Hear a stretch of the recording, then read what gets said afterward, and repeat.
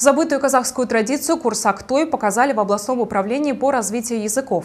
Это народные обычаи, когда становится известно, что в доме молодая сноха в положении. За столом только женщины своих родственниц и соседок приглашает радостная свекровь. Они устраивают вечеринку с богатым дастарханом, а будущую мать осыпают шашу. Этот обряд доверяют только женщинам почтенного возраста. После такого праздника беременные начинали больше заботиться. Дома обязательно готовили что-нибудь вкусное. Родственницы приглашали сноху в гости или передавали подарки. туған жер өзінің дегенде жүрегім әсте селенген бір сезім билеп аладай жүрегім дүрсіл сағадай